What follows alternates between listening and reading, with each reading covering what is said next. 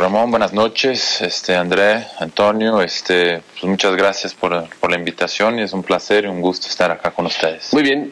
André, ¿cómo estás? Ramón, muchas gracias por invitarme, Luis. Bienvenido. Gracias. Hola, buenas noches. Antonio. Gracias. Bien, gracias. Bueno, Sague, eh, ¿qué pasa por un futbolista tan importante como tú, triunfador en un equipo como el América, triunfador en la selección nacional, que de repente bueno, te regalan tu carta, te obsequian tu carta merecidamente, es un buen gesto, que no encuentras equipo, que tienes que entrar un poco en la zozobra de si vas a firmar, no vas a firmar, si me llama Teco, si me llama el Puebla, si me llama tal, si me llama tal, no llama. ¿Qué pasa? ¿Qué pasa por tu mente después de tantos años de futbolista? Pues bueno, es una situación obviamente inédita en, mi vida, una situación que realmente uno no, no imagina, una situación como esta. Pero bueno, así son las circunstancias, así se dieron. Este, de un lado, de cierta manera, estoy contento, estoy feliz porque creo que con el hecho de haber logrado mi carta, eh, es algo importante, no sé si fue ya demasiado tarde o no, pero creo que es algo significativo, es algo importante para un futbolista saber que en determinado momento de su vida o de su carrera, este, pueda recibir su carta y aparte de una manera este, positiva, de una manera donde eh, hubo un reconocimiento por parte de tanto del Club América, obviamente del Club Atlante, pero más que nada del Club América, que hizo un gran esfuerzo para que se lograra eso. Y, y, bueno, esa satisfacción de salir eh, en paz, con una buena relación, con, con, el sentimiento de haber cumplido con los deberes que me tocaron como profesional, pero sí al mismo tiempo este, la inquietud de no tener ahora, tal vez actualmente un equipo. Eh, todavía tengo creo que algunos años más por jugar, me siento muy bien físicamente, mentalmente también, que es creo que lo más importante.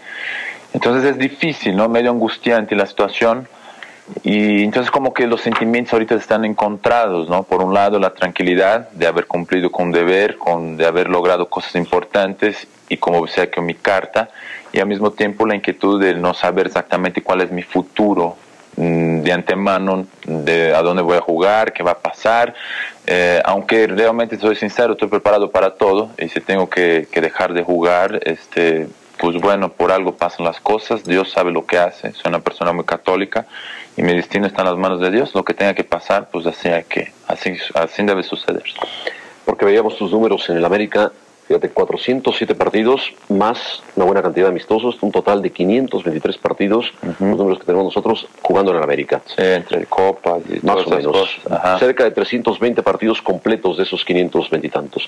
175 goles. No sé si uno más, uno menos, un más o menos a lo mejor en el, en el América, no, en América son más. En América son como son 200, eh, 225 goles. Estábamos quitando muchos. lo que pasa no, creo que es, de liga, hay nada más ah, son, de liga. son de liga. Exactamente, sí. 225. Algunas expulsiones. Ajá, sí. eh, el carácter. En Atlante también jugaste muchos, 73 partidos. y también metiste cerca de 25 goles. Exactamente. En la selección nacional también has jugado mucho. En fin, ¿no? es que aquí dice 175 goles más 21 en liguilla. Así es. O sea, más o menos, vamos a dejarlo en 225 goles. Pues es una carrera muy, muy grande, ¿no? Muy larga. ¿Cuántos años son esto, más o menos? ¿Debutaste muy joven? Sí, muy joven. Yo, bueno, de hecho, mis inicios son allá en Brasil, jugando en el Corinthians. En el Corinthians, En el Corinthians. hablaremos del Corinthians. El famoso Corinthians, sí. Y, este, y bueno, luego, luego a los, prácticamente casi a los 18 años recién cumplidos o no bien cumplidos, empieza a ver el interés de la América, hicimos una gira por Centroamérica y por Sudamérica, me ven jugando dirigentes del fútbol mexicano y algunos obviamente de la América y me traen al, al fútbol mexicano, al Club América en 85 más o menos. 85, o sea, casi 14 años. 14 años exactamente como profesional, un año que estuve en Corinthians casi como profesional, prácticamente ya son como 15 años de profesional. 15 años de profesional. Empezaste muy joven, empezaste de 17 años a jugar fútbol. Así Muy es. jovencito, un, Así es. un chamaquito. Así, sí. Mira, ahí, está. esa, mira, ahí Sí, estás. eh, ahí mi estás. papá, sí, ¿Tu sí, es cierto. Sí, fue, yo creo que uno de mis primeros partidos en el, en el América, precisamente, sí, cuando llegué a México, así es. Y este, y sí, muy, desde muy, muy joven, la inquietud de seguir los pasos del padre, ¿no? Digamos que que siempre me causó esa ilusión, esa inquietud de querer eh, vivir todas esas experiencias de que como cuando era niño lo veía con mi padre. Entonces empecé jugando fútbol de salón en Brasil, muy, muy tradicional, muy común. Y de ahí me vieron jugando y les interesó a lo que pasara al equipo de fútbol soccer, al fútbol de campo. Y, y ahí empezó mis primeros pasos como, como futbolista. Aunque desde chiquito me gustaban más los coches. Los, ah, ¿te gustaría ser corredor de autos? Yo creo que sí, sí. ¿Veías, ¿a quién veías en aquel entonces en Brasil? ¿A Apache? Eh, no, era Nelson Piquet. Nelson Piquet. Eh, Emerson Fittipaldi, ya Campeones los dos. Ajá, Nelson Piquet, sí. Entonces, este...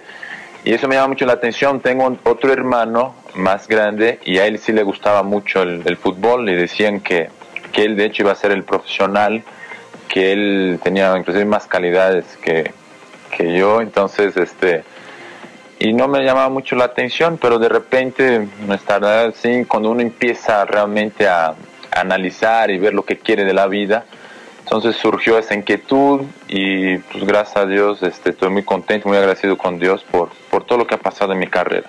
Sí, como no, una carrera fructífera, una carrera buena, limpia, no has tenido muchas lesiones. No, no, la verdad no, gracias a Dios, ninguna, ninguna operación, Fíjate. las lesiones normales, ¿no? Que, y ya eso ya con, ya con una cierta edad, que son los desgarres o las contracturas, pero gracias a Dios ninguna lesión. Nunca un problema de menisco, de ligamentos, nada. No, gracias a Dios no, ninguna operación. Eso es maravilloso, ¿no? Sí, una carrera, como tú dijiste, limpia en ese sentido, ¿no? Sin, sin ningún tipo de, de, de esas situaciones que son muy difíciles y que muchas veces ponen en riesgo tu carrera, ¿no? Muchas veces dejan tu futuro de una manera medio incierta.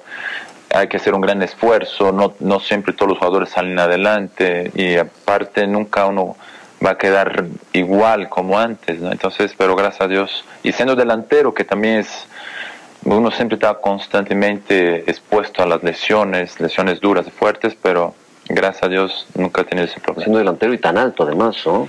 Sí, sí. Es, no hay delanteros tan altos, sobre todo en nuestro fútbol, ¿no? Sí, sí, muy alto. Bueno, eso es de la familia. Este, Tu padre no era tan alto, ¿sí? no, no, la verdad no. Pero sí quien es alto es mi madre, la Madre. familia. Y por parte de la familia de mi madre, mis abuelos, que en paz descanse, eran yugoslavos.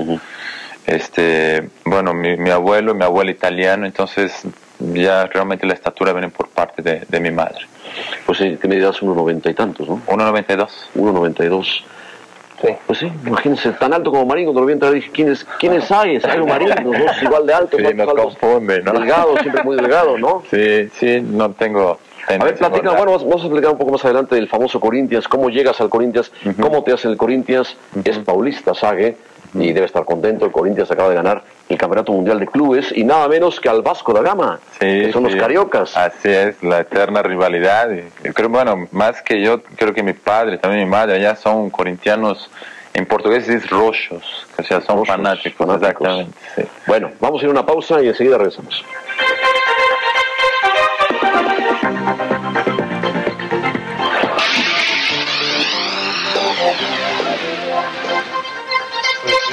Que ¿Usted qué opina de, de su hijo como futbolista? sí? como futebolista. Sí, Bueno, ahí están los dos. eu vou opinar o seguinte: o Zaguinho é um jogador com muita personalidade, com um caráter muito forte. É um jogador que sabe sempre dar a ganhar. Tudo que hace na vida, desde quando era de ninho, sempre peleava para ganhar as coisas que estava fazendo, não? Eu me sinto muito orgulhoso do meu filho, pelo futebol que está praticando e pela sua qualidade humana que é. Para mim, não foi surpresa essa, esse trabalho pela seleção mexicana a hecho, tendo um grupo muito maravilhoso, um grupo muito compacto. Se seguir nesse caminho, eu creio que a seleção mexicana vai fazer um bom papel na Copa do Mundo dos Estados Unidos. Si se encuentra México y Brasil en la Copa del Mundo, ¿sabe padre a quién le va? Bueno, eu estava esperando que jogasse México e Brasil agora na final. Você pode não acreditar. Meu eu está jogando na seleção mexicana. Eu supostamente vou torcer para México. Está bien. Que ahí ya es la familia, ya los, la sangre, ¿no? Sí. Los nietos vendrán ahí también. Bueno, neto ainda é muito temprano porque os muchachos ainda não se decidiram, não? Pero eu adoro esse país e quero que chegue, México siga lá arriba como toda a seleção do mundo. E tenha de um bom nível e tenha condição para isso. Porque eu creio que o jogador mexicano tem outra cabeça, outra maduridade, não na nossa época. O jogador mexicano na hora quer sair a ganhar. Enfrentou a Argentina de igual para igual. Isso é muito importante no futebol. Ter um espírito de ganhador, espírito guerreiro. E tem sempre salir adelante. Bueno, pues quisimos recordar programa que estuvo Sague Padre, Sague Hijo, 1993, junio, julio de 1993. Tu padre se conserva bien, jugador el Bayano, famoso lobo solitario, jugador del América, que, eh, pues sí, empezó en Corinthians, ¿no? Sí, sí, empezó en Corinthians. Bueno, sus inicios fueron un equipo en Bahía, este, donde ahí se profesionaliza y luego, luego también lo contratan. En esa época era muy difícil, gentes que viven en el nordeste de Brasil, venir a, al gran centro, a, la- a las grandes eh, ciudades del fútbol en Brasil, en este caso São Paulo, Río de Janeiro.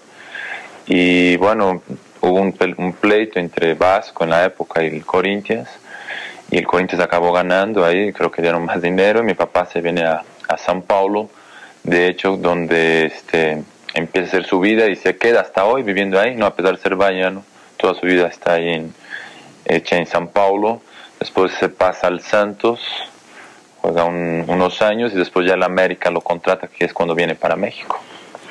El famoso lobo solitario. Muy bien. Ya después nos platicas tu llegada del Corinthians. Y mira, ahí está tu padre en algún partido. Pues me imagino que debe ser contra quién, contra el... el ¿Quién sería ese Uy, no equipo? sé. Pues por el uniforme parece... universitaria, ¿no? Sí, Sí, sí, debe- al Torreón de aquella época, ¿no? ¿El oro? ¿El oro? Ah, pues el oro. Y ahí con el Zacatepec, ¿no? Contra el Zacatepec, en Zacatepec. El lobo solitario tenía un gran remate de cabeza tu padre, ¿eh? Seguramente Sí. te lo han dicho, lo habrás visto. un resorte impresionante. Sí, sí, es, es- creo que fue su, su sello, ¿no? Su característica más importante. Sí, sí, sí. Hasta hoy es chistoso porque cuando juega en su equipo de veteranos, cuando la, la- el equipo ahí anda medio mal o- y el marcador no es favorable, este, Se la la, jugada típica es para arriba, por arriba, para que anote su gol de cabeza y puedan empatar o ganar. En aquella época, por eso le decían lobo solitario, jugaba solito adelante. El América tomaba la pelota y se la mandaba a Sague y Sague se encargaba de hacer todo. Sague para el ¡pum! Gol de repente. Goleador también en el América.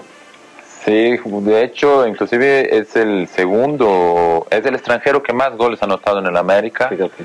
Por las estadísticas, obviamente, datos que uno se va enterando, ¿no? Digamos, y con, con en el último libro, un de estadísticas que creo que el señor Francisco Hernández ha hecho, ahí demuestra que, era, que ha sido el extranjero más goleador en la América, en toda la historia de la América. Muy bien. Ya ustedes que no vieron jugar al padre. Ya vimos Padre de, de Sague. Sí, Sí, que- yo también, yo, que yo estaba muy, muy chico, yo realmente profesionalmente nunca lo vi jugando. Sí, bueno, Marín es más grande que tú. Sí, como no. No. Bueno, Luis, eh, indudablemente yo creo que junto con Alfredo Tena, podríamos decir que son Saga y Alfredo Tena los máximos exponentes del símbolo americanismo, ¿no? Del, del americanismo en los, en los últimos años en el fútbol mexicano. Y desde que tú sales del América, sí podríamos decir que Cuauhtémoc Blanco ha funcionado muy bien eh, como delantero del equipo, pero nadie más. Y después de ver lo que ha llegado a la América, han gastado muchísimo dinero y han llegado muchos petardos que no han funcionado, y que tú eres el máximo goleador en la historia de la América, pues a lo mejor a la conclusión que podemos llegar es que en los últimos años tú en pareja con Blanco hubieran solucionado muchos problemas de gol en América si hubiera seguido ahí. Pues, pues ojalá, Andrea. O sea, yo creo que con, con Cuauhtémoc yo lo conozco desde muy joven, cuando llegó precisamente la América. Un jugador de, obviamente, ya muy conocido, de un gran carácter, una gran personalidad. Me acuerdo que cuando él entrenaba con el primer equipo, este, los defensores sufrían mucho con él y le daban muchas patadas y le pegaban y siempre fue un jugador que nunca se achicó, siempre trató de imponerse y por algo ha, ha encontrado un espacio no solamente en América, pero también creo en el fútbol mexicano. De Cuauhtémoc, obviamente lo que me recuerdo fue en la época del señor Ben Hacker, cuando la América, creo que un- uno de los, o si no el último América, tan explosivo, tan comentado, tan, tan impactante como fue el del señor Ben Hacker como entrenador, precisamente jugábamos los dos extremos, ¿no? Cuauhtémoc como extremo derecho, yo como extremo izquierdo y Villic como centro delantero.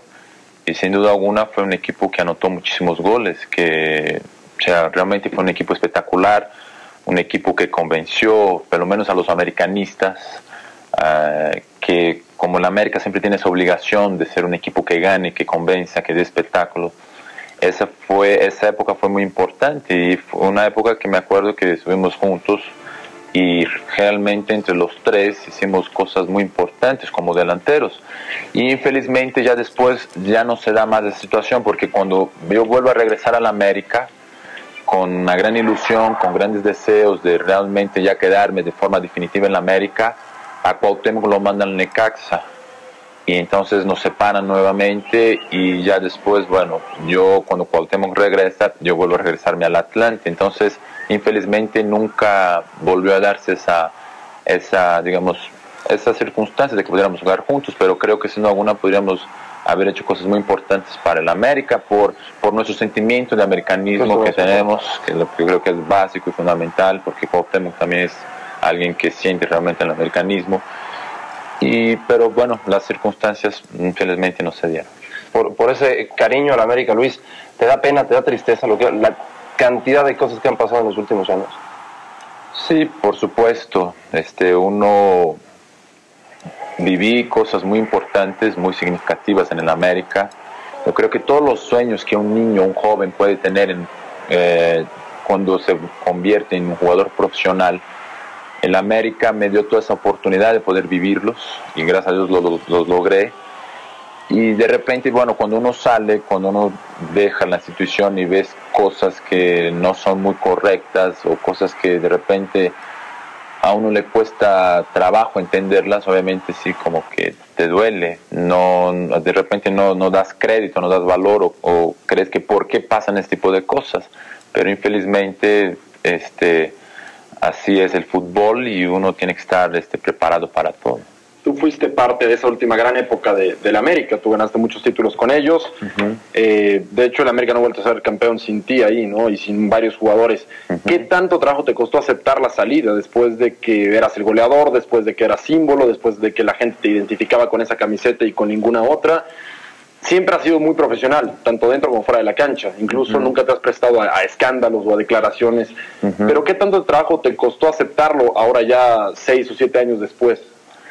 Eh, fue difícil, obviamente, porque fueron prácticamente 12 años estando en la institución. Y, y, en la primera salida, cuando se da la primera salida, yo creí que ya estará bueno porque después de muchos años llega un momento en que existe un cierto desgaste eh, en todos los niveles. Entonces creí que iba a ser bueno, que iba a ser tal vez importante pero siempre tuve esa ilusión o esa, esa idea de que algún día regresaría, o sea, era una salida que para mí iba a ser momentánea, iba a ser cosa de años, pero regresaría. Inclusive mi regreso fue mucho más, eh, digamos, antes de lo que imaginaba, esperado. esperado exactamente. De repente tengo una gran temporada con el Atlante en los dos torneos esos cortos y de repente me dicen, regresas a la América y eso para mí fue un motivo de mucho orgullo, de mucha satisfacción. Pero ahí sí regresé con la idea de que ya era una manera definitiva, que ya no, ya no iba a salir más, que iba a jugar ya los, los mis últimos años como profesional, los que mi cuerpo aguantara. Y obviamente ya en esa segunda salida sí ya fue muy difícil, ya, ya vino una gran desilusión, ya vino algo que hasta hoy todavía no entiendo por qué pasó las cosas, por qué se dieron las cosas. Eso sí me dolió mucho porque ahí sentí que no que no fueron en sentido este, correctos, como me habían dicho, inclusive en, mi, nuevo regreso a la América, ¿no? inclusive teniendo contrato con el América, que de repente tengo que regresar nuevamente al Atlante. Entonces sí, ahí fue más difícil, y, pero eran las circunstancias, como tú dijiste, nunca quise entrar en polémicas o algo por el estilo pero hasta hoy es medio difícil porque te identificas, sobre todo por la lealtad ¿no? que siempre he, he tenido con el América. No es fácil cargar una bandera de, digamos así, de americanista por todo el país y, y en ese sentido yo creo que siempre fue muy leal siempre traté de llevar lo más alto posible esa bandera de americanista, obviamente por sentimientos, hasta por herencia, porque aprendí eso de mi padre. Y entonces siempre en cualquier parte que, que íbamos a jugar en provincia era muy difícil, obviamente la gente, sabemos que la América eh, tiene sus seguidores a muerte, sus seguidores muy fanáticos que lo defienden a muerte, pero también existen aquellos que, que no quieren la América. no es nada personal, pero digo, este, hay aquellos que no aceptan la condición de la América y entonces uno siempre, siempre traté de llevar muy alto esa bandera y creo que entonces de repente esas circunstancias como que fueron medio difíciles de poder aceptar. No, y lo hiciste bien. Llevaste muy bien la bandera de la América, la verdad. Porque metiste muchos goles. Viniendo de ti, te lo juro que Sí, me da sí, mucho sí, gusto. para mí hay dos jugadores que la han llevado con mucho orgullo, con mucha lealtad. Uno es Tena y el otro es tú. Muchas gracias. Y los dos han sido simbólicos de este equipo y los dos han sido gente importante, gente respetuosa de la América y gente leal. Ser leal en esta época del fútbol tan comercializado es muy complicado, Saki, tú lo debes saber, ¿no? Así es, exactamente lo que esa lealtad que siempre traté de manifestar en, en todos mis años como profesional con el América.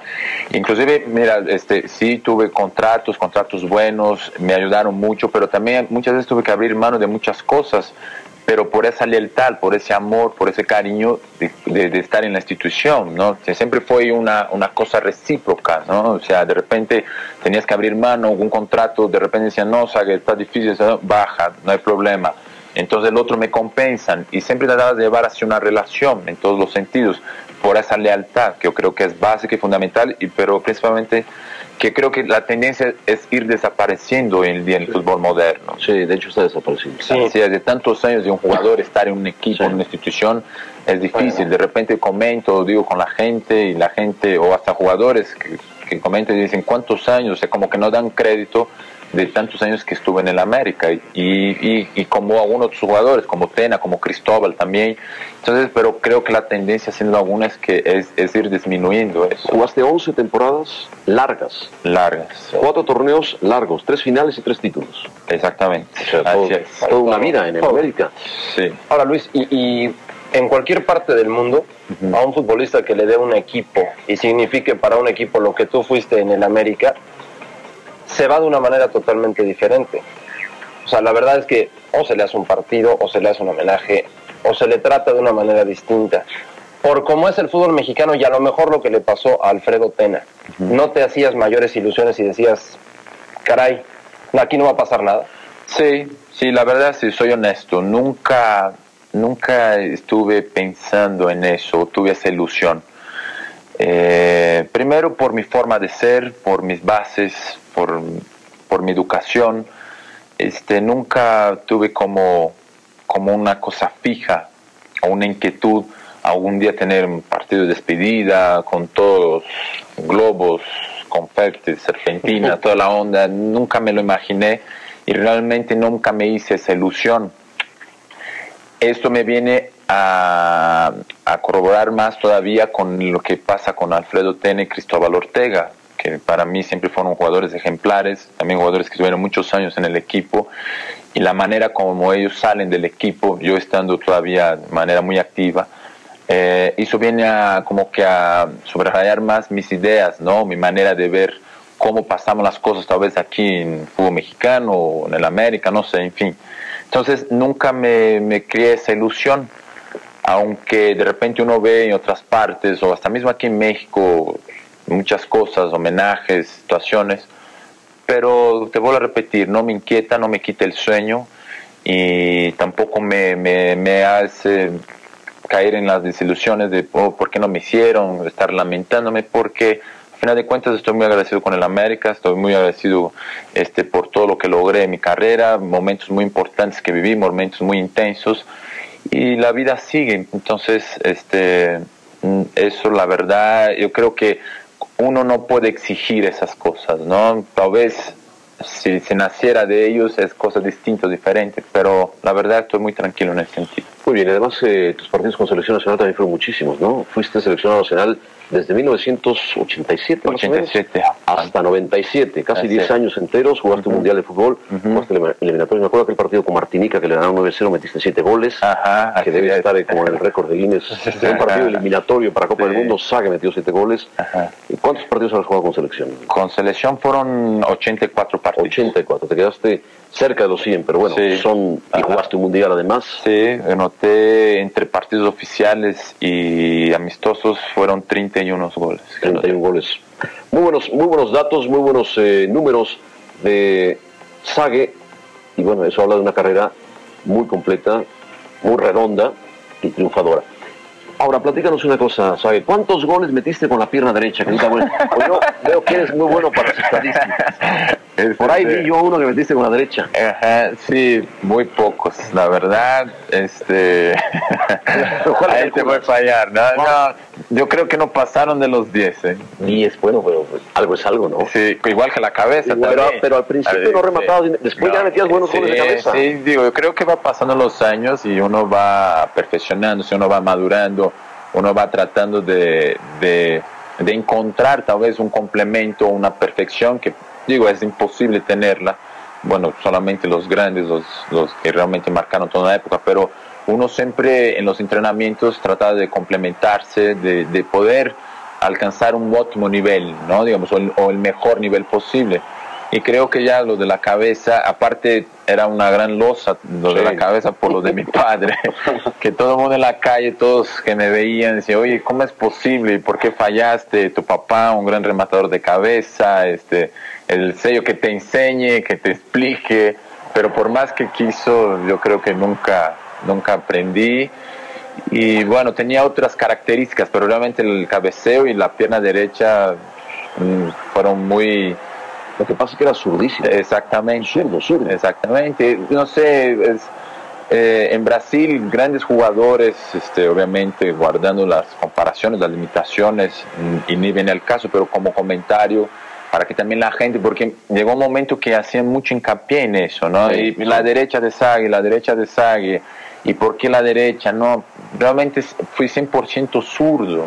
Grandes jugadores en Brasil como Rivelino, Gerson, este, que inclusive Rivelino mismo, que para mí fue uno de mis primeros. Edu, ¿te acuerdas Edu, el del Edu, Santos? es- así Pepe, es, ajá, Santos. de Santos. Entonces, Zurdísimos. entonces, digo, siempre con la izquierda, con la izquierda y, y sí es un, es un, hasta de repente, no un error, ¿no? Pero a veces uno cree o de repente como las cosas van saliendo bien, Sí. uno siente que tal vez no tenga la necesidad de complementarse. Eso sirve principalmente a los niños es que, que ven y es un consejo que siempre traten de, de perfeccionarse desde chiquito. Yo realmente nunca tuve eh, esa inquietud de estar en un frontón o en una pared y estar golpeando el balón con la pierna derecha, tal vez para mejorar o, o- o tratar de sacar más provecho. ¿no? Tal vez quise hacer, ya después de, de algunos años ya no era lo mismo.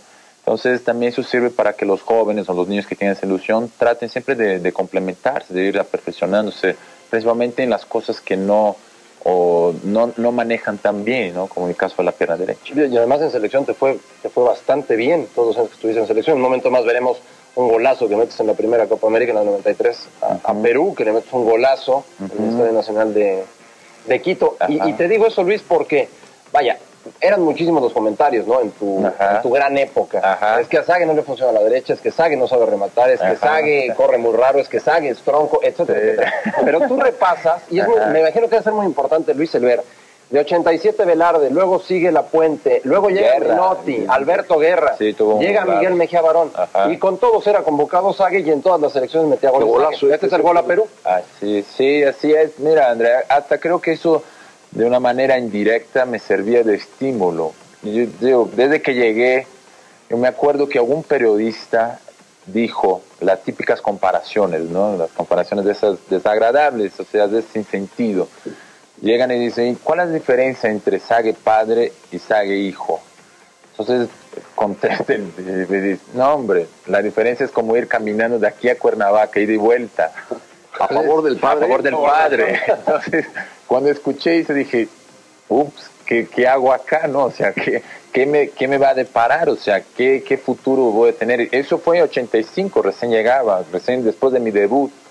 Entonces, el, cargar ese, ese, ese peso de tener un padre que fue toda una leyenda aquí en el fútbol mexicano, en fútbol brasileño también, jugando al lado de grandes estrellas, hasta en el mismo Santos, en la gran época, con el mismo Pelé y compañía, obviamente era muy difícil ¿no? asimilar eso y tratar de, de, hacer comparaciones, de superar cosas que nunca quise hacer realmente. Yo simplemente quería escribir mi propia historia eh, siempre he dicho, tratar de reafirmar o recalcar más todavía el nombre Sague dentro del fútbol, no solamente mexicano como en el fútbol internacional. Y entonces siempre digo, fueron críticas, digo, eso fue muchísimo de la pierna derecha, del cabeceo, como tú dices, que, que nada más corre, que nada más tiene la zancada, pero creo que yo, gracias a Dios, en base a una gran humildad, en base a un gran esfuerzo, siempre traté de superarme y, de, obtener mis logros, de, escribir mi propia historia. Y Dios me fue ayudando donde poco a poco, este, a lo largo de los años, pude, este, ya al principio decían, ahí va el hijo de Sague, y hoy en día ya dicen Sague o Saguiño. Ahí fue la gran diferencia, donde ya empezaba a, la gente, digamos, a reconocer mi, mi, mi calidad o mi capacidad. Y siempre bajo muchas críticas, pero siempre dije, mira, las críticas constructivas, siempre tuve la suficiente humildad de aceptarlas, hasta de un niñito de, de cinco años, de seis años que de repente llegaban, oye, Sage, ¿por qué fallaste el gol? ¿O por qué no pateaste de derecha? O... Pero las críticas destructivas ahí sí me molestaban, porque sentía que no eran justas y no eran honestas en varios aspectos, pero de todas maneras estás expuesto a, eso y tienes que aceptar, ¿no? Y seguir adelante tratando de superar. Porque sea lo que sea, Luis, eh, para muchos, esa selección que acabamos de ver es la que mejor ha jugado por México en muchísimos años. Y tú pertenecías a ella y además eras titular, ¿no? Además de los 10 años que estuviste en selección, pues bueno, sí puedes decir, bueno, yo estuve en esa selección tan recordada, ¿no? Sí, y aparte chistoso porque al principio no estaba en esa selección. y así pasó, y así pasó con muchos entrenadores. Con Menotti, él llega eh, y no me convoca a un principio, ¿no? Yo creo que también basado en eso, en las críticas, no me conocía muy bien, no sé, no me convoca y al final, hasta su último partido, me, me, vuelvo titular. Con Miguel Mejía Barón, lo mismo. Al principio no me convoca, no participo en la primera esta de las eliminatorias y acabo convirtiéndome en titular. Y con Bora, también lo mismo. O sea, al principio no me llama y después me llama y me acabo convirtiendo en titular. Entonces, creo que algo tenía, ¿no? Digamos, no, no solamente eran las críticas, por algo pasaron y por algo convencí a esos entrenadores, el mismo el señor Lapuente al principio, ¿no? Que, que puedo trabajar con él, este, también me, consideró este, hasta una Copa de Oro cuando pasaron cosas que él tiene que renunciar, que él sale de la selección, en fin, este, y el mismo el señor Velarde, que en paz descanse, cuando me llama, que fue una de mis primeras nominaciones a la selección, inclusive a la selección B en esa época denominada, y un lapso muy corto con el señor Guerra como entrenador de la selección. Estuviste con todos. Con todos. Con todos. Y además, déjame decirte, yo no sé si futbolísticamente, pero por los datos que hemos eh, recabado y que tenemos en la mente y en escritos, yo creo que superaste a tu padre. Y mira que superar a tu padre no fue fácil porque él dejó toda una historia de grandes recuerdos con la América, pero lo superaste en cuanto a números, o sea, los goles, las actuaciones y además jugaste de la selección nacional, que tu padre no pudo jugar por su nacionalidad brasileña, pero tú lo conseguiste porque naciste en México y entonces podías jugar en México y eso te ayudó a proyectarte como un jugador más importante, de más peso y eso es muy importante para ti. Sí, sí, la verdad sí, José Ramón. Para mí fue muy importante y, y la verdad me siento muy orgulloso porque, y no digo eso por presunción, ¿no? Pero gracias a Dios hasta un reconocimiento a nivel internacional donde yo nunca tuve un promotor como se maneja actualmente. Mira que hay promotores ahora. Ajá. mi padre, que muchos creen que fue un promotor, mi padre nunca fue un promotor, simplemente alguien que por sus experiencias, por su manera de ver el fútbol y por todo lo que había vivido, siempre trató de ayudarme, de orientarme y siempre en los contratos, que es del momento muy momento muy difícil, muy desgastante en la carrera de un futbolista, él siempre estuvo al frente tratando de, de poder llegar a un acuerdo de la mejor manera posible con los dirigentes. Pero nunca fue el típico nunca fue el típico promotor de tener un cassette mío en su en su bolsa en su maleta y estar llevándolo a varias partes para que me vieran jugando o cosas por el estilo tratar de acomodarme a algún equipo. Y en base a ese esfuerzo ese sacrificio que hice durante todos esos años este en base a esos logros eh, desperté la atención en varias partes, inclusive en Europa mismo, en España, muchas veces vinieron equipos interesados en mí, este, en Portugal, alguna vez en Alemania, hasta mismo en Italia alguna vez hubo algún rumor. Entonces todo eso fue en base a un, un gran esfuerzo, a un gran sacrificio, a un reconocimiento tal vez por, por esos logros que tuve dentro de la cancha, por la, mi entrega, por mi profesionalismo. Entonces para mí eso fue muy importante porque los reportajes en revistas, hasta en Japón se comentó alguna vez, este, tuve reportajes, entonces todo eso en base a lo que logré dentro de la cancha. Eh, eso para mí sin duda alguna fue algo, fue algo muy importante, sigue siendo algo fundamental y algo que, que a mí siempre me, me llenó de orgullo, ¿no? Entonces, obviamente a mi padre nunca tuve esa intención de querer superarlo, eh, siempre me preguntaban, hacían las comparaciones, me decían, y obviamente al contrario, para mí es un orgullo cuando la gente, inclusive generaciones que tal vez no vieron a mi padre jugar y se, se expresan de manera muy cariñosa, muy afectuosa, lo que dicen, sus comentarios. Gracias a Dios siempre he escuchado comentarios muy, muy, muy bonitos. Entonces, no solamente por, por mi padre haber sido profesional, pero como hijo, el hijo que, que escuchan hablar de su padre, para mí eso ha sido maravilloso. ¿no? Entonces, ahorita comentas eso, me da mucho gusto, pero las cosas se fueron dando solitas y bueno, qué bueno que por lo menos existe ese reconocimiento, no solo por mi padre, obviamente por lo que hice con mi propia carrera.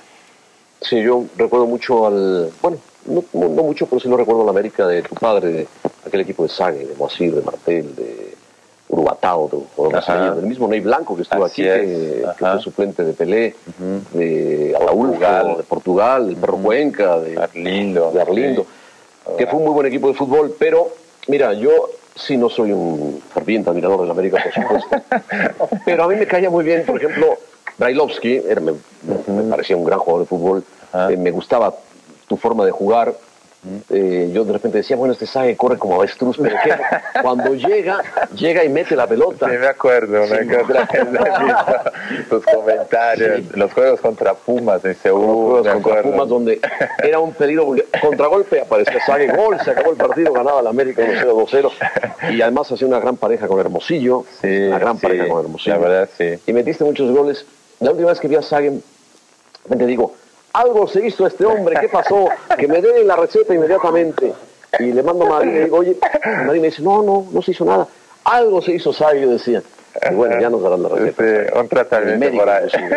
vamos a pausa y volvemos a seguir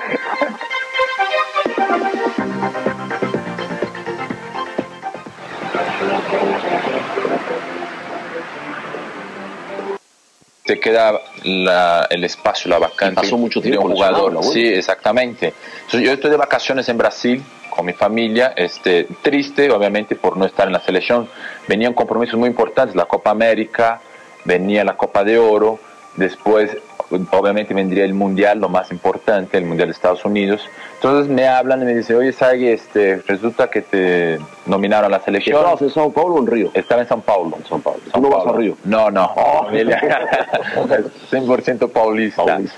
Entonces, este, me llaman, vengo, de- de- de- había dejado de entrenar inclusive Sí. muchos días, vengo y me incorporo a la selección. Había el, el famoso caso, aparte llega un momento crítico muy angustiante de la selección que era, iba, eh, había el problema de que los jugadores querían hacer una huelga. Claro. Por el problema de, de la Copa América, del famoso draft, cuando empezaron los problemas del draft. Entonces llego, encuentro que, que- la selección no quiere viajar a Copa América, este, yo involucrado con la selección y obviamente este, junto con ellos, este, me solidarizo junto con ellos, digo, lo que decidan, yo estoy dispuesto a hacerlo, no hay ningún problema, que al final de cuentas hacemos el viaje a Ecuador, gracias a Dios tengo una participación muy buena, muy destacada, la selección encuentra a través su mejor nivel futbolístico, y bueno, acaba la Copa América, el subcampeonato, toda aquella euforia, el recibimiento ese tan bello y maravilloso que tuvimos de la gente. La verdad es, no hay algo que jamás lo olvidaré en mi vida, algo impresionante. Este, y bueno, ya casi ya a punto de irme a Brasil nuevamente de regreso a ver mi familia, me habla Miguel Mejía Barón y me dice, oye, te tienes que quedar porque hay algo relacionado con la CONCACAF, la Copa de Oro se tiene que jugar en México y ellos obligan a que algunos jugadores se tengan que quedar y tú eres uno de esos. Me pregunta todavía como queriendo decir si, no había problema, pero como que casi casi me obligándome a quedar. Yo digo, no hay ningún problema, Miguel, yo con mucho gusto, este, ya estaba como que enrachado, dije, pues adelante, seguimos, no hay ningún problema. Y viene, bueno, todo eso de la Copa de Oro, donde está el partido contra Martinica, donde tengo la fortuna de anotar siete goles. La verdad, sería mentir de mi parte si algún día imaginé anotar siete goles en un partido. De selección. Eh, de selección, exactamente. Ajá, sí. Y inclusive recibí un reconocimiento de FIFA, donde pues, en un partido oficial la mayor cantidad de goles. Y se fueron dando los goles, era impresionante, este, no sé, una, salí inspirado, Dios me iluminó demasiado y algunos goles muy bonitos, uno de los más bonitos inclusive de mi carrera, uno que agarro de volea, o sea, se fueron dando los goles, los goles y de repente nada más escuchaba el, el sonido local diciendo, no, un nuevo récord nacional, un nuevo récord en el Estadio Azteca y se fueron dando de repente siete goles, ¿no? Inclusive, soy honesto, podía haber hasta anotado más goles, pero me acuerdo que Campos en ese día jugó como delantero. Sí, en uno de esos te pone un balón. Exactamente, me fue el balón. Y yo quería como hacer algo igual, porque para él era muy importante como delantero. Creo que nunca anotó un gol en la selección y ese era el momento ideal. Y hubo dos o tres jugadas que podía haber hecho el gol y creo que inclusive incrementaría ese número. O sea, no eras egoísta, eras... Sí, la verdad, sí, eh, mira, y, y qué bueno que me decías nunca, o sea, puedo tener muchos defectos, pero nunca me caractericé por ser un jugador egoísta. Siempre traté de, de ser compañero. Es la jugada de campo. Sí, así es. De, de, cooperar con, primero obviamente con el equipo, ya sea el equipo o la selección. Este, y creo que varios centros delanteros que jugaron conmigo, grandes centros delanteros, que para mí también es un motivo de, un motivo de orgullo, haber jugado al lado de, de Carlos Hermosillo, de Hugo Sánchez, de Luis García, de Ricardo Peláez, este, de Villic, de Amarilla, o sea, de muchos centros delanteros, siempre traté de ser un jugador que, que pusiera balones a ellos, que funcionara para el equipo, o sea, nunca traté de ser egoísta o vanidoso, el tipo de jugador que nada más quiere tener toda la atención hacia mí, o sea, siempre traté de, de cooperar en todos los sentidos. Y esa vez con Campos en la selección traté de hacerlo, pero infelizmente no fue posible. Oye Luis, cuando se han marcado más de 200 goles a lo largo de una carrera, debe ser muy difícil tener un gol favorito. Pero yo estoy seguro que a lo mejor cuando vas por la calle, o cuando vas manejando, o cuando estás en tu casa, por ahí te viene a la mente el recuerdo de algún gol o, el sabor de algún gol. ¿Cuál es el que más regresa a ti, el que, el que más regresa a tu mente, el que más recuerdas, el que más le gusta, o el que más sí, o sea, todos, todos los goles para un delantero, o sea, anotar un gol. No, de cabecita que metió. no muchos, pero la gente, realmente la gente recuerda mucho el gol este que comentaste, el de Perú. Es furioso. Sí, la gente, hasta hoy, donde voy, este, no solamente hasta los hombres, hasta mujeres, es chistoso porque normalmente las mujeres no acompañan mucho el fútbol, pero muchas se recuerdan de ese gol, mucha gente. Entonces, obviamente yo creo que por ese mismo reconocimiento. Creo que para mí ese ha sido el gol más bonito que he anotado en toda mi carrera. Aunque te voy a repetir, todos los goles, hasta de los punterazos, los de que te pegan y entran, o sea, todos los goles son importantes. Para un, delantero no hay satisfacción más grande, o sea, de poder haber, de poder llegar a tu casa en la noche y decir, logré. Muchas veces hasta juegas muy mal, muchas veces este, pasas desapercibido todo el tiempo y de repente haces un gol y te conviertes en el héroe o el, el jugadorazo entonces eso te llena de orgullo, de satisfacción, es una posición al que estamos expuestos a eso, ¿no?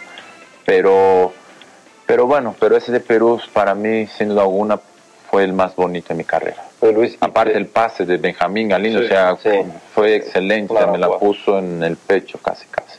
Luis, y una jugada con Noruega, ¿te costó mucho trabajo olvidarla? Sí, sí, todavía. Además, todavía no lo olvido.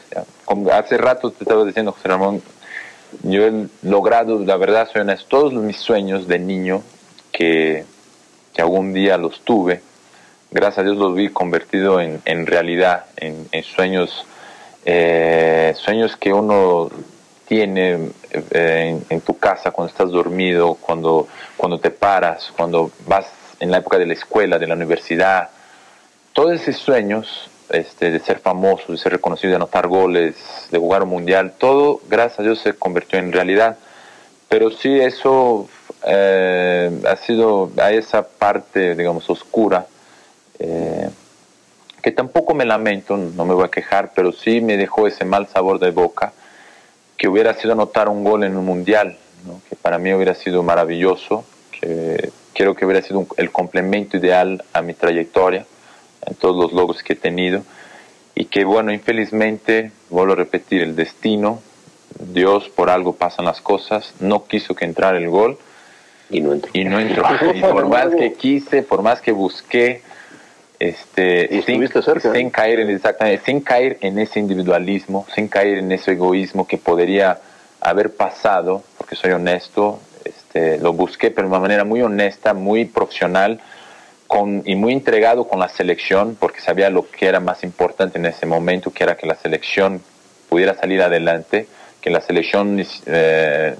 hiciera historia, pero infelizmente no cayó el gol, hasta hoy es una pesadilla, de repente estoy parado, estoy en la casa, estoy haciendo alguna cosa, estoy en el coche y, me, y me, me, empiezo a recordar la jugada y fue impresionante, porque por más que quise, no entró, me pegó en la cabeza, o sea, no, no entró. no encuentro explicaciones. Y era el empate, ¿no? Era el empate, era el empate sí, 1-0. Faltaba un, un minuto. Falta, aparte, exactamente, faltaban pocos minutos y una jugada donde Ramón este, recibe el balón por el lado izquierdo y ya muy cerca del marco. Y yo realmente creo en ese momento que Ramón va a patear hacia la portería. Y Ramón, muy hábil, de repente hace la finta y manda el centro.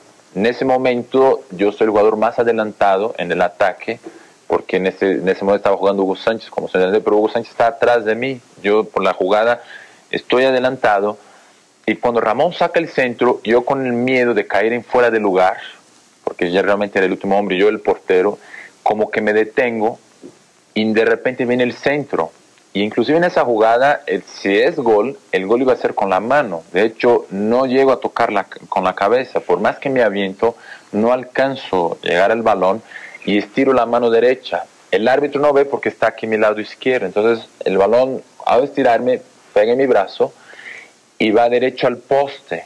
Yo me caigo creyendo que iba a ser gol porque estaba muy cerca de la portería. Realmente dije, es gol y estoy abajo ya hasta creyendo en festejar el gol, imaginar que ya el balón ya había entrado y veo que el balón no entra y si hubiera quedado así con la cabeza hacia abajo es gol. es gol el balón pegaba la cabeza, en base y, y, se entra. Pero yo en mi afán de querer ver el balón en la desesperación sí. de ver que no entra el balón levanto mi cabeza y justo me pega aquí en la coronilla. Y entonces al pegar aquí en la coronilla el balón se alza y se sale. O sea si hubiera quedado boca abajo en ese momento fracciones de segundo el balón pega en mi cabeza y entra. Infelizmente no entró, todo el mundo gritó, el relajo, la desesperación, y no entró. Y después hubo otras jugadas, inclusive en el mismo mundial, donde busqué el gol. ¿Se acuerda Bulgaria? Tuviste también algunos Ajá, ajá, contra Irlanda también. Me acuerdo una que pateé, inclusive de derecha, este, una jugada muy rápida, un pase que Marcelino me lo pone muy bien, y pateo, y el balón de hecho pasa por el portero de Irlanda, y en sus, como que en sus, medio de sus pompis, el balón pega, o sea, ya había pasado, iba a pasar por debajo de sus piernas y él como que se cae, se cae tantito y justo sí. le pega en sus pompis y se sale el balón, o sea, después vino de Bulgaria, o sea, oportunidades de goles que normalmente yo creía que eran normales, que podía entrar, pero eso sí nunca entró. Entonces, por eso digo, el destino, por algo, digo, Dios ha sido muy bondadoso conmigo y tal vez dijo, te he dado muchas cosas, la verdad, te he regalado muchas cosas y eso no te voy a cumplir. Se dijo Sague, en un mundial no, ¿eh? Sí, Vas a jugar, pero no gol. Bueno, dijo, Sague, déjame jugar por lo menos. Y jugué los, los cuatro partidos, este, pero no cayó el gol. Muy bien, pero además fue una buena selección. Bueno, Sague, tú eres paulista. ¿Qué, ¿Qué hubiera pasado? Es una suposición también. Si en lugar de venir a México te quedas en Brasil. Hubieras sido futbolista profesional, hubieras jugado en el Corinthians, eh, hubieras triunfado. ¿Qué hubiera pasado? En un fútbol diferente al mexicano. Sí, sí, sí, sí. Es, es algo que, que de repente también me he puesto a pensar, José Ramón. Mira, yo, yo antes que nada, porque mucha gente también me preguntó eso. Yo a lo largo de mi trayectoria, eh, mi español tal vez no ha sido muy fluido, muy Ahora bueno. es muy bueno, ¿eh? bueno, gracias, gracias. Y siento que inclusive he sufrido algunas consecuencias de que muchas gentes no me ven 100% como mexicano. Y tampoco te ven como brasileño. Me imagino que debe ser eso. Exactamente, sí. Entonces, este, yo, bueno, más una vez, si hay algunas gentes que no, no, no saben o tienen dudas, yo nací aquí en México y me regreso a Brasil con apenas tres años de edad, cuando mi papá se retira del fútbol a nivel profesional. Entonces, de los tres años a los 18 años estuve viviendo en Brasil, o sea, todas mis bases, mis principios, mi educación, eh, no solamente educación escolar como familiar, obviamente todas fueron, fueron hechas en Brasil. Pero yo nunca ocu- oculté ese sentimiento y esa alegría y ese orgullo, este, aunque algunas hasta me tachaban de, de Villa Melón, que quería quedar bien con los mexicanos, decir que era mexicano, pero con mucho orgullo, el hecho de vivir en Brasil, pero de ser mexicano, este, para mí siempre fue algo muy importante. Me acuerdo que en la escuela, este, cuando empezaba el primer día de clases, típico que hacían las presentaciones, la maestra llegaba y decía, ah, pues del salón, pues, hay un, hay un, hay un alumno acá que es mexicano. ¿Quién es? O sea, levanta la mano, pasa adelante. Entonces ya Luis yo- Roberto Alves dos Santos. Dicen, ¿cómo? no, es Alves dos Santos, ¿no? Más, más portugués, porque Sí, mi apellido sí, sí, portugués y brasileño, pero sí soy yo mexicano, este, entonces empezaba a platicar de Brasil, eh, de México, las inquietudes, la- obviamente todos no es, no es nada, este, eh, anormal eh, saber el, el gran cariño que existen de los brasileños hacia los mexicanos. Entonces, obviamente me preguntaban todo de México, me decían las cosas de México, este, que Acapulco, que las pirámides, que los aztecas, obviamente México con toda su cultura, muy rica en varios aspectos. Entonces, para mí eso era un orgullo, ¿no? Era un, representante mexicano en una escuela de muchos alumnos donde pues, el único mexicano era yo. Entonces, yo siempre traté de llevar en alto, ¿no? Había, había kermeses o fiestas y decían, oye, hay que traer algún recuerdo de México. Entonces ya iba yo con el sombrero que mis papás tenían ahí, este, o el calendario azteca. Entonces siempre tratando de llevar el, el, el, el- nombre de México en ese sentido muy en alto. Entonces, para mí era una gran ilusión algún día, obviamente, llegar a la selección mexicana. Para mí era algo muy importante. Yo de niño vi los mundiales que me acuerdo, el de Argentina, 78, y el de España, que- fue en esa etapa de- de- de niños. Y bueno, el- me acuerdo que el mundial de 78, eh, yo estudié en una escuela de padres durante, bueno, casi toda mi escuela ahí fue en la orden de, de San Agustín, y los padres eran españoles. Entonces, los padres, sabiendo que era mexicano, me preguntaban mucho sobre la selección mexicana, qué pasaba cuando jugaba México, cuando jugó México en sus partidos en el Mundial de Argentina. Y obviamente yo siempre decía, no, México va a ganar, este, México muy bueno, este, y en premio los resultados no fueron muy buenos, pero eso me causó un gran impacto, inclusive llegué a hacer burla ya en, en el salón, obviamente, sabiendo que era mexicano, por los resultados de la selección, pero eso me llenó mucho de orgullo, o sea, de satisfacción, de querer este, algún día poder llegar a la selección mexicana. Entonces nunca me planteé esa idea, José Ramón, regresando un poquito al tema de lo que me dices, de jugar en el fútbol brasileño. O sea, realmente yo estaba totalmente convencido de que mi futuro, que, que, mi objetivo principal era llegar al fútbol mexicano y escribir una historia dentro del fútbol mexicano, obviamente como ejemplo de mi padre, que había jugado tantos años en el fútbol mexicano, y entonces no, no hacía este o no, no me imaginaba o no hacía muchas ilusiones de lo que podía hacer en el fútbol brasileño, lo que podía haber hecho. Sí debuté en el Corinthians este, con una edad de muy, una edad muy temprana, con, con apenas 17 años, en un Corinthians donde jugaban grandes figuras como Sócrates, como Casagrande, como Dunga, el portero era Carlos Gallo, este, entonces jugadores, Serginho, el centro delantero. Entonces era difícil. Era malísimo. no, bueno, no, era, era goleador. Era- en era Brasil goleador, hizo sí. muchos goles, Sí, ¿no? sí, Era el típico caso tal vez que en la selección no funcionaba, pero Claro, a nivel en nacional. aquella selección 82, Exactamente, así es. En- a nivel nacional hizo grandes goles. Este, pero entonces, para mí, el hecho de repente estar profesionalizándome, el entrenador en ese entonces era Carlos Alberto Torres, el entrenador, el capitán de la selección de Sí, 70. Era el entrenador que me da esa oportunidad. Y me acuerdo que en esa época el Corinthians no me quería vender. Hubo inclusive acercamientos de algunos equipos en ese entonces y el Corinthians no me quería soltar. Me decían, me veían en mí un jugador con mucho futuro, con mucha proyección. De hecho, yo debía estar en esa época jugando en los juveniles, pero di un salto muy, muy importante. Me suben al profesional. Hay un torneo allá en San Paulo muy importante que se llama Taza San Paulo de fútbol eh, sub-20, ¿no? Entonces tuve un destaque muy grande en esa competición y de ahí donde me dan esa oportunidad de llegar al profesional.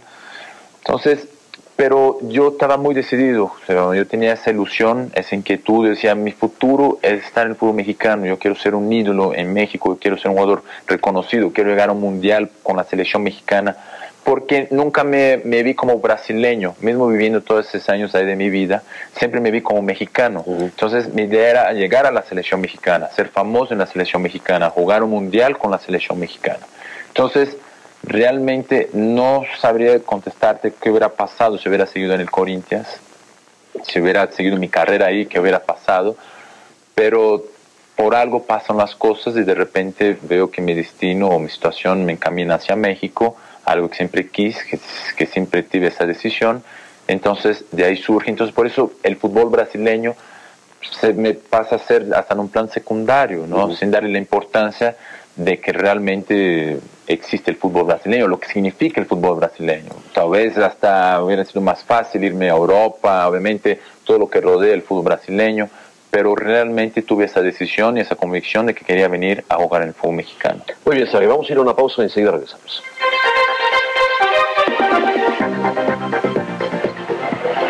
Del Botafogo. El doctor, como lo apodaban, era un jugador genial con el balón.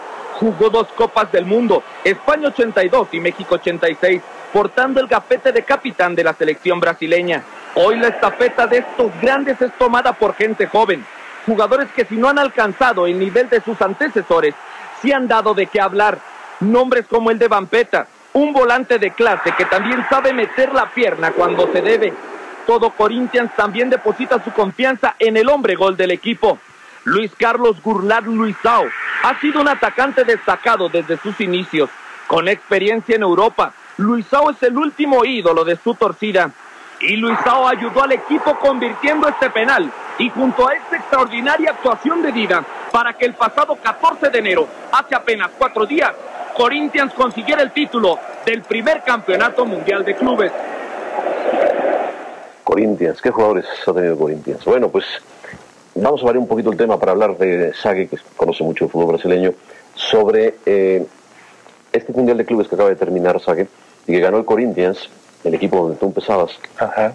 y que lo ganó muy bien, a un equipo de Río, porque la rivalidad entre los equipos de Río es muy fuerte, pero la rivalidad entre los equipos paulistas también, pero paulistas contra los cariocas, como dicen en Brasil, mientras los paulistas trabajan, los cariocas descansan. Van a la playa. Van a la playa y ven maravillas en la playa, Así pero bueno. Ajá. Pero el Corinthians tiene muy buen equipo, llega a la final, le gana por penaltis al equipo del Vasco da Gama. ¿Dónde se juega mejor fútbol? ¿En Sao Paulo o en Río?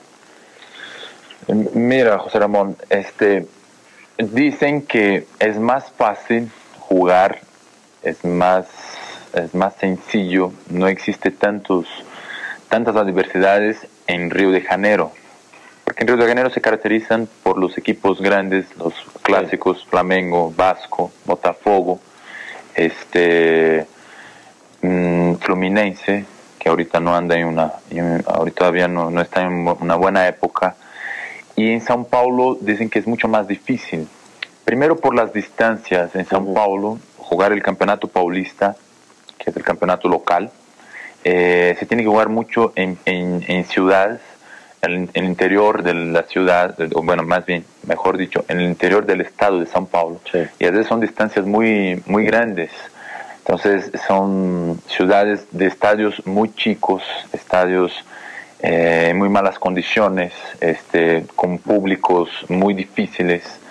Entonces, eh, es muy difícil, hay una marcación mucho más estricta, no se dan tantos espacios, se juega un fútbol mucho más fuerte, eh, a pesar mismo de estar jugando en Brasil, fútbol de fantasía, fútbol de, de clases, de toques, pero en San Paulo se marca mucho, se, se, no se dan tantos espacios como supuestamente en Río, en Río como que es más fácil. Como que son más cascareros. Más, Río, ¿no? Exactamente. De la playa. Exactamente, como que lo llevan eso a la cancha, ¿no? Es como que juegan, quieren jugar más bonito, jugadas más de fantasía, jugadas más, este, más soberbias, más bellas, y en San Paulo es de mucha marca, de mucha, de, de mucha, mm, no correría, no de correr mucho, porque en general el fútbol brasileño obviamente es cadenciado, pero sí de mucha lucha, de mucha este, entrega por ambos conjuntos, muy intenso y principalmente de los equipos de la capital, en este caso Corinthians, Palmeras, San Paulo, Portuguesa, que van a jugar en provincia, ¿no? Y Santos, aunque Santos es una ciudad muy cerca de San Paulo, pero también ya es difícil jugar contra esos equipos. Sí, es difícil. Y bueno, los paulistas están felices porque eh, justamente de, del fútbol paulista salió el jugador más grande que ha habido en, en el fútbol mundial, que es Pelé, ¿no? Así es, Aunque también los cariocas se sienten contentos porque salió Garrincha, obtuvieron a Didi, Didi. obtuvieron, pues a quién más te gusta, Gerson. Gerson, Grandes jugadores también, ¿no? grandes, exactamente. Este, inclusive la rivalidad llega hasta a nivel de federativos. Es, es una es una Sí, pelea muy intensa. El hecho por decir que la CBF, la Comunidad Brasileña, esté este, en Río de Janeiro, eso en, en los momentos de las nominaciones para la selección, eso causa mucha polémica porque empiezan a decir que los entrenadores se fijan más en los jugadores de Río, que hay interés por los jugadores de Río y que se olvidan los de San Paulo. Y entonces empieza esa guerra, esa rivalidad tan grande, ¿no? no de los mismos periodistas, Sí, entre los periodistas sabe, se sí. tiran mucho, dicen que los, los de San Paulo, dicen que los de Río no tienen tanta capacidad, que nada más alaban a ciertos jugadores y viceversa, los de San Paulo. Entonces, realmente es una rivalidad muy, muy, muy grande. Y, perdón, André, pero los seguidores de Corinthians o de Vasco, de Flamengo, de estos grandes equipos, son impresionantes, ¿eh? Los torcedores, como Sí, llaman ustedes en Brasil, así es. impresionante. La final de, de clubes se vio. así es la torcida, ¿no? Como dicen allá, la porra, las porras, inclusive hoy llegando a los extremos, ¿no? Hoy en día ya es prohibido. Antiguamente existían eh, esas, esas porras, tenían sus playeras, donde realmente se identificaba muy bien quién, quiénes eran quiénes, ¿no? Digamos, de cada, de cada equipo. Y dada la, la gran violencia que ha desatado en el fútbol en los últimos años, se prohibió completamente que esos, que esos eh, fanáticos, esos, bueno, fanáticos sería el término ideal, eh, usaran esas playeras de sus porras oficiales, porque cuando había un clásico, bueno, un clásico en la capital, en San Paulo, Corinthians y Palmeras, era una preocupación tan grande en la ciudad, porque tenían miedo que destruyeran todo, camiones, el metro, este, eh, o sea, Las tiendas. las tiendas, porque se, se encontraban, se- inclusive es, es- es de tal grado la violencia que previos a esos partidos tan, tan mencionados, o contra el San Paulo o contra Santos, hacen trayectos donde supuestamente los aficionados se tienen que seguir, de cada equipo tienen que seguir ese trayecto hasta llegar al estadio sin poder encontrarse, porque si llegan a encontrarse antes de llegar al estadio, es llega hasta la muerte, ¿no? Entre las medidas, perdón André, que, eh, que había para la final del campeonato de, de clubes, Ujú. era que el- la afición del equipo ganador iba a salir primero que la del equipo perdedor Así y hasta es. una hora después Ajá. saldría la afición, en este caso del Vasco da Gama, para no encontrarse en, en los alrededores del estadio. Sí, realmente es impresionante. Y, y la torcida o la porra, para que la gente entienda, del Corinthians, realmente es impresionante. Es, es una de las más fuertes, una de las más fanáticas, y, pero también una de las más agresivas. Para que tengan una idea, es tan grande que hasta tiene una escuela de, de, de samba, ¿no? Ah, desfilan en el desfilan, sí, exactamente, se llama Gaviões, Gaviões da Fiel. Ah, la, la, Porque la, una- la bandera es espectacular. Exactamente, esa es la... Es la Ahí está, mira, ahí está, ahí está. exactamente. Y cómo le silbaron a Roberto Carlos. ¿eh? Sí, porque jugaba todo su Palmeiras. en Palmeras, entonces no perdona. Y Gaviones da Fiel es la porra más, eh, más grande y más tradicional del Corinthians. Inclusive tienen su escuela de, de samba que, des- que desfilan en el carnaval cuando es en San Paulo, bueno, en la misma época, pero en San Paulo hacen su, su desfile de carros alegóricos y toda la cosa. So- so- sobre eso te quería preguntar, Luis, eh, ¿qué, ¿en dónde hay más pasión, dónde hay más odio deportivo? ¿En un Corinthians Palmeiras o en un Corinthians Sao Paulo? ¿O en un Corinthians contra un equipo de Río, contra un Flamengo? Sí, yo creo que en el Corinthians Palmeras, ¿eh? Claro, porque un el Corinthians, regional, ¿no? exactamente, porque es así chistoso. Eh, el, el Flamengo muchas veces, inclusive ha apoyado al Corinthians cuando ha ido a jugar en Maracaná contra otros equipos, contra el Vasco. Por ejemplo, ahorita en, en, San- en Río, estoy seguro que la porra del Flamengo está feliz. Y seguramente fueron, fueron A del Vasco. y exactamente, y fueron a apoyar el Corinthians. Y, y viceversa, ¿no? Cuando van equipos eh, a, a San Paulo, Sí, sí, los sí. de Río los apoyan. ¿Sabes por qué te lo pregunto? Porque, porque tú lo viviste mucho, pero hoy en México, el América Chivas se murió. Con todo respeto, está muerto el clásico, no existe. Hoy en México hay más pasión en un América Cruz Azul o en un América Pumas.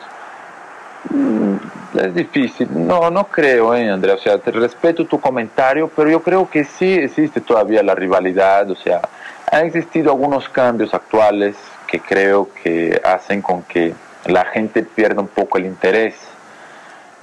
Jugadores, yo creo que lo que estábamos comentando, jugadores símbolos, jugadores que están muy identificados con un equipo, de repente jugar en el equipo contrario, en su rival, entonces yo creo que eso eh, hace con que la gente pierda esa ilusión o pierda ese interés. Pero sí, el clásico siempre será un clásico, siempre llama esa atención, siempre llama, eh, siempre genera esa expectación. Eh, sí existe esta rivalidad, tal vez ah, también los jugadores se conocen mucho, se respetan. Antiguamente yo creo que los jugadores no se podían ni ver o intercambiar una mirada que ya era sinónimos de pleitos o de agresividad. Pero digo, es emocionante un clásico, siempre, siempre va a ser bonito. Para mí, en mi experiencia en los en que he vivido, mis clásicos han sido realmente únicos. Eh, vivir todo, todo lo que rodea un clásico realmente son distintos a los demás partidos, con todo respeto a los demás equipos, pero cuando se acercaba la semana previa al clásico, era una semana totalmente distinta, diferente. Entonces, este, tal vez, digo, las circunstancias actuales con los jugadores, con esos intercambios de jugadores de la América que van a Guadalajara o viceversa, tal vez ha perdido, se ha perdido un poco eso. Pero obviamente los medios de comunicación tienen una gran influencia sobre eso y hacen parte fundamental de ese show que es un clásico, la verdad sí es, y llama mucho la atención. Entonces, es, es difícil. Ahora, aquí en México, gracias a Dios, todavía, yo siempre he dicho, me preguntan cómo es la diferencia. Aquí la gente, los mexicanos, somos aficionados al fútbol. En Brasil, como en otras partes, como en Argentina, son, exactamente, son apasionados, son fanáticos, llegando hasta el fanatismo. Sí, sí, sí. O sea, realmente en Brasil el Corinthians, es, yo vivo hasta mi familia, veo a mi papá, mi mamá, por ejemplo, cuando gana el Corinthians, están contentos, felices. Cuando pierden, están de malas, o sea, se enojan, o sea, se molesta la familia toda, porque todos son corintianos. Entonces, allá realmente existe un fanatismo. Es imposible, por, por- eh, eh, el simple hecho de que en un clásico aquí en México puedas ver banderas del América con el Guadalajara juntos, este, eso habla de cómo se vive el fútbol acá, de Sí, otra es manera. Allá era imposible, o sea, ver un jugador, un- un- alguien del Corinthians con del Palmeras, por decir así, juntos, es, es pleito seguro. Poniendo ejemplos de los jugadores que que han cambiado de un equipo a otro en México, Ajá, Romario, ujú, del Flamengo a Vasco, ajá. tiene problemas, ¿no? Sí, la gente los silba, o sea, la gente este, los critican, este, los de Roberto Carlos, ustedes vivieron, por ejemplo, un ejemplo de muy claro, sí. que es un jugador de selección, un jugador que ha ganado muchas cosas con la selección brasileña, además. muy buen jugador, por supuesto, todo lo que significa Roberto Carlos y no lo perdonan, que es- son esas cosas que uno hasta a veces duele como futbolista. Yo cuando escuchaba, o sea, decía, ¿por qué hacen eso? No, pobre, pobre, pobre Roberto Carlos. Al, al revés, por ser un brasileño jugando debería tener un reconocimiento aparte, especial, pero realmente ese fanatismo ciega a las gentes y es imposible que ellos puedan diferenciar eso. Oye, a cómo andan los tiempos, perdón, Ramón. Digo, ha- han pasado tantas cosas entre Chivas y América que, que, bueno, a lo mejor un día te podrían ofrecer ir a Chivas. Sería sumamente raro, sumamente extraño. Para... Sí. Pero tú no aceptas, Luis. Sí, hubo, hubo ese rumor, hubo esa especulación, alguna vez llegó a inclusive a ser muy intenso y realmente yo no me vería jugando con la, con la playa del Guadalajara. No vas, sí. Yo creo que hasta la misma gente de allá de Guadalajara no me aceptaría por todo lo que he vivido en los clásicos. Yo afortunadamente en los clásicos siempre tuve un, un cierto destaque, anoté muchos goles, creo que de hecho en la América uno de los jugadores que más goles ha anotado en los clásicos. Entonces, porque realmente vivía con esa, digo, yo sí con esa pasión, con esa intensidad un clásico. Eso es bueno, muy bueno. Entonces, este, por eso creo que uno se va identificando también con su club, ¿no? Aunque el fútbol moderno actualmente, por las facilidades, por como se ha convertido en un negocio tan grande, es, por ejemplo, Viola, ese que jugó en el Vasco, que entró, él se inició en el Corinthians y dio muchos títulos al Corinthians. Y yo estaba jugando con el Corinthians, lo chiflaron también, tal vez no se percataron ustedes, pero cuando entró lo chiflaron, la porra del Corinthians, obviamente. Entonces, allá es difícil que acepten eso, ¿no? Creo que en todas partes del mundo, ¿no? En Europa es lo mismo, Italia, España, este, Luis Enrique, ¿cuántos, cómo, Sí, cómo sí, sufrió su traspaso al Barcelona. ¿no? Entonces, porque hay jugadores, tal vez hay, existen jugadores que de repente no se identifican tanto y pasan por los clubes, tal vez sin marcar una huella tan profunda. Entonces, puede ser hasta más fácil pasar a otro equipo. Así. ¿no? Entonces, entonces la gente no identifica tanto, pero cuando uno hace una historia o cuando uno deja una huella tan profunda, o cuando uno está muy identificado, pues obviamente eres un blanco perfecto para la para la porra, ¿no? Entonces no te van a aceptar, no no no te van a perdonar que, que le hayas- hecho tanto, digamos, daño, entre comillas, futbolísticamente hablando. Ahora, Saki, antes de irnos una pausa, nosotros eh, sabíamos que en Brasil se juega muy bien fútbol, se Ujú. juega muy bien el fútbol, por supuesto, pero con la sangría que sufre el, fútbol brasileño diario, Ujú. de grandes jugadores jóvenes que se van y de las listas de jugadores brasileños que hay fuera de Brasil, jugando sobre todo en Europa, uno no se imagina que pueda Brasil en su liga local tener tan buenos equipos de fútbol y tan buenos jugadores. Cuando tú ves al Corinthians y al Vasco y los sigues durante un campeonato mundial enfrentados a otros equipos y los ves jugar tan buen fútbol con tan buenos jugadores, Ajá. dices, bueno, Brasil es una fábrica de jugadores. Cabello un día aquí sentado decía, es que los promotores llegan a Brasil y ven una mujer embarazada por la calle y le dicen, niño o niña, niño firmado, firmado, oiga, para, firmado, va para el Torino, va para la Juventus, va para el Madrid, firmado. Surgen y surgen.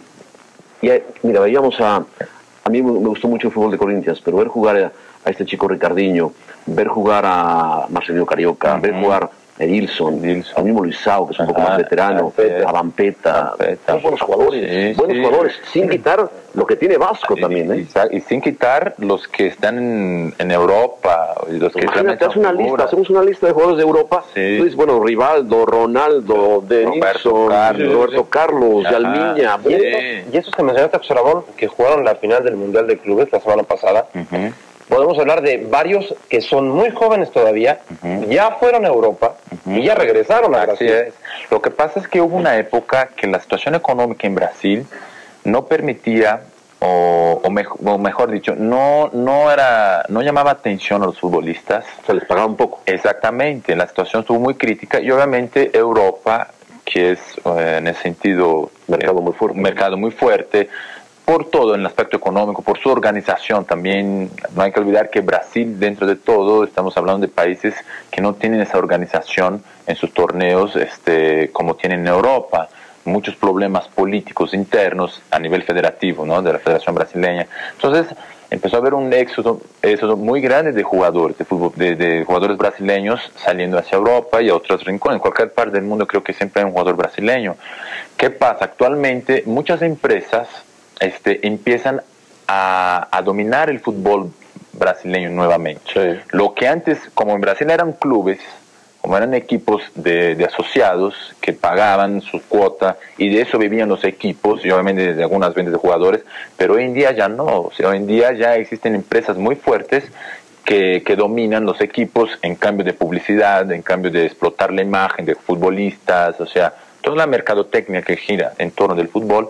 Entonces, al futbolista, brasi- el, el brasileño, el jugador brasileño, ya tal vez ya ni le llame tanto la atención irse a Europa, porque tiene en Brasil óptimas, perdón, óptimas condiciones de jugar fútbol, de vivir y, y obviamente este, la- la- lo que platicamos al principio de los niños, estamos diciendo, los niños, o sea, en Brasil es nacer un niño realmente y el niño tener esa idea o esa ilusión de querer ser futbolista. O sea, es una cosa impresionante.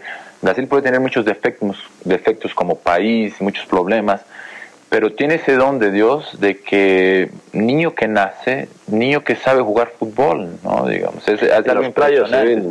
jugadores. Ajá, sí, eh, y de ahí empieza, ¿no? Por eso esa fuerza, por eso esa potencia que tanto tienen los jugadores en Brasil, porque desde muy niños están jugando en la playa, entonces obviamente, o no solamente en la playa, pero en cualquier sí. espaciocito que tengan, los niños ponen los latas Paulo de cerveza. playa y también hay Sí, exactamente. No, pero en- en los, los terrenos baldíos famosos esos, este, en los clubes, este, en la calle mismo. Yo fui un niño que jugué muchas veces en la calle, tipo que rompen la- las ventanas, este, se caen los cables de luz, o sea, pero es eso que hace parte de, de- de la infancia del niño ¿sabe que brasileño, tú- ¿no? El Brasil es tan grande, tan grande que uno decía, bueno, nada más hay paulistas y cariocas. Sí. Pero no, resulta que Belo Horizonte produce jugadores, eh, Porto Alegre produce Ajá, jugadores, el Gremio es buen equipo, el Cruzeiro es buen el equipo, el Inter es buen internacional, equipo. así es.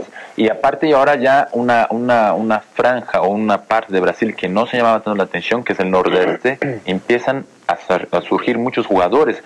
O, y- o los promotores ya lo ven El nordeste, ¿qué, qué Eh, equipos? El nordeste está, por ejemplo, está Bahía, Bahía. que han salido muchos jugadores, Sí, sí, sí. está Pernambuco, está este Alagoas, está Recife está, Norte, eh, en otro lado. Recife, está, Recife está ahí. exactamente, sí. También han salido Eh, jugadores. Exactamente, en Pernambuco. Entonces, de ahí han surgido también actualmente muchos jugadores que, que han sido destaques, no solamente en San Paulo, en Río, como de ahí ya, están- ya han salido directamente a, a- a Europa. El central ese del, del Real Madrid, el brasileño, Julio César, Estuvo a punto de venir a la América. eh, está- de hecho estaba en la América. bueno, ¿no? estuvo en la América. Exactamente. Se fue a- se fue a. Honduras. A Honduras, de Honduras se fue a España y de España se fue a, ahí, bueno, a Valladolid. Estaba lesionado y al ahora, Real. Madrid, exactamente. Él es del, del nordeste de Brasil. Entonces, muchos jugadores que a veces uno no tiene el conocimiento ya salen hasta directamente, porque inclusive muchos de ahí no son famosos, no son conocidos, entonces no, no es tan cara su carta, ¿no? Digamos, el jugador. Entonces los promotores se enfocan más a esta zona do, do que más abajo en Río San Paulo, donde se cotizan los jugadores a una Claro. cantidad muy alta. Sí, ya Ronaldo anunció que le gustaría regresar a Brasil y jugar con el Flamengo. Sí, sí. Me eh, gustaría regresar a Brasil y jugar con el Flamengo. Sí, por todo lo, lo que significa la, la porra también del Flamengo es, creo que la de Flamengo y el Corinthians, creo no, son las dos más grandes de Brasil, son las dos más efusivas, las más entusiastas, más fanáticos. Entonces, el jugador que está en Río, jugar en el Flamengo, en el Maracaná, es el, y después el fin de semana van a la playa, juegan su, su fútbol, y como dices, su tenis balón, entonces... Y ven muchas cosas en la playa. Exactamente, entonces están. Bueno, vamos a pausa y volvemos.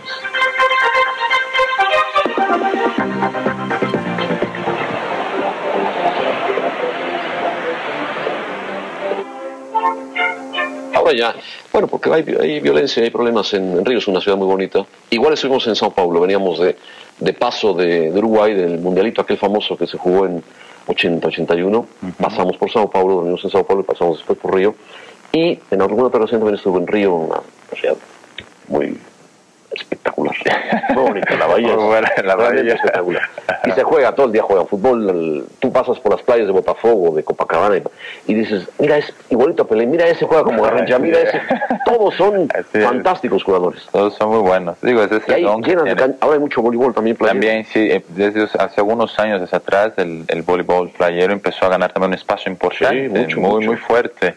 Inclusive una, una época en que la selección brasileña, coincidentemente, como no ganaba ningún título, El no ganaba el fútbol, sí. mundial, como que vino esa desilusión de los brasileños Sí, y el voleibol empezó a ganar un espacio muy importante. Y Ayrton. Senna, por supuesto. Y obviamente, exactamente, Sí, sí, sí. así es, el- los corredores, este, entonces como que la gente estaba medio dolida con los futbolistas, con el fútbol brasileño en general, con la selección y aunque obviamente la pasión siempre ha existido, pero como que empezaron ciertos deportes a ganar un espacio más importante. Saque, ¿te gustaría ser entrenador?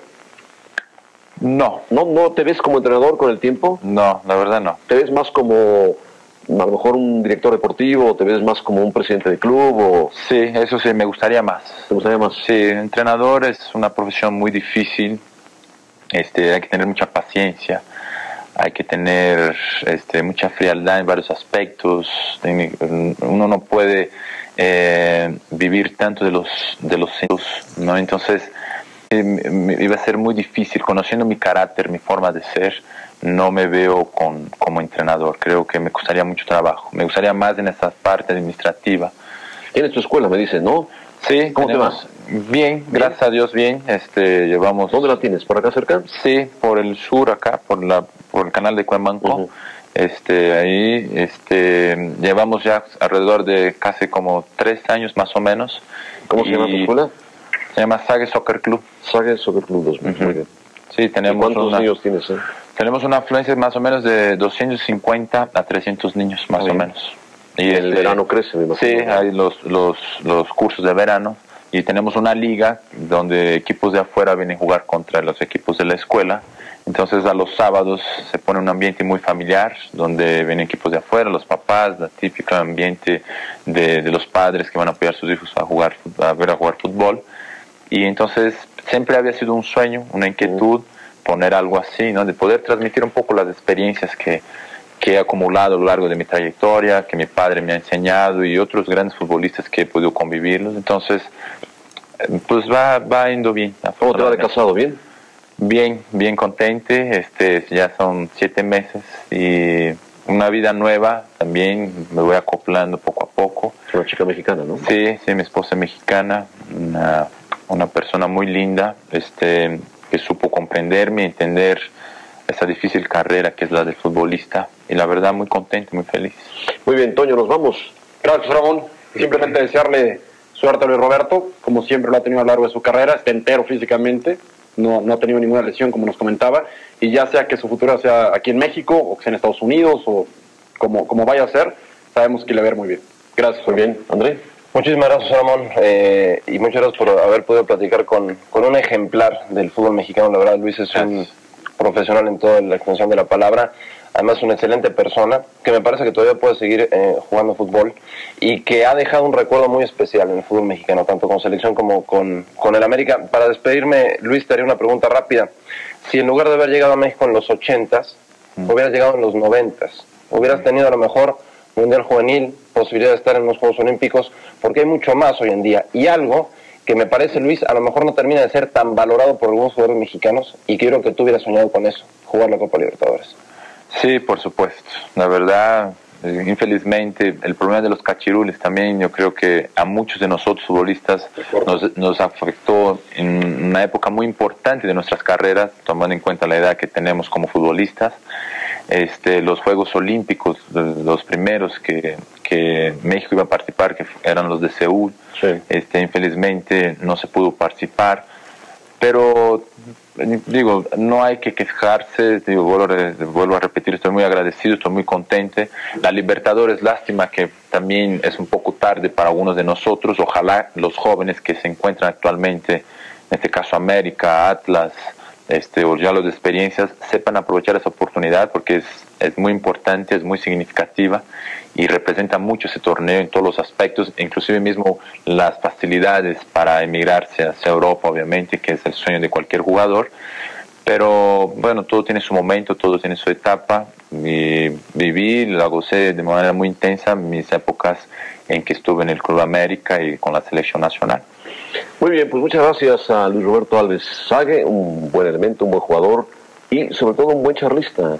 Da gusto platicar con Sague porque es un hombre que ha aprendido muy bien el castellano, lo sabe perfectamente, se expresa bien, se expresa con, con pues muy bien, podemos decirlo, con, con mucha soltura, con propiedad, eh, maneja muy bien las frases, o sea, está perfectamente adaptado a nuestro país, es mexicano por supuesto, y además ha jugado bien al fútbol, ha hecho goles, ha sido campeón, ha jugado en selección, ¿qué más puede pedir Sague? Seguramente con el tiempo lo seguiremos viendo en algunos equipos de fútbol o metido en el fútbol. Ya verán ustedes cómo Sague va a aparecer mucho en el fútbol porque ya lo queremos retirar, pero no, él todavía tiene mucho por salir y sí. mucho por jugar, ¿no? Sí, sí, creo que tengo más unos años por adelante. Este, de repente escucho comentarios, no, nada más tiene un año, dos años, este, y créeme que la verdad me siento muy bien. El hecho de que me hayan regalado la carta, este, no Sí, es lo que dice que ya te vas, ¿no? Exactamente, me ha retirado, ¿no? Tengo todavía la ilusión y creo que cuando tienes esa ilusión puedes jugar algunos años más y de- obviamente de buena manera, de buena forma, ¿no? Es- y ya cuando realmente ya no exista más esa ilusión o, ese, o esas ganas o esos deseos, bueno, entonces es el momento de, de retirarse, pero ojalá pueda jugar algunos años más porque me siento muy bien físicamente y mentalmente. Muy bien, gracias Sague por estar con nosotros. No, gracias a ti, José Ramón, André, Antonio, este, gracias por la oportunidad de estar acá y me dio mucho gusto, la verdad, poder platicar con ustedes. Muy bien, además eh, fue, cayó en un momento justo porque los brasileños ¡fum! ganaron el Mundial de Clubes y quién mejor que Sague que conoce muy bien el fútbol de Brasil. Gracias, pásenla bien, nos vemos hasta el próximo lunes.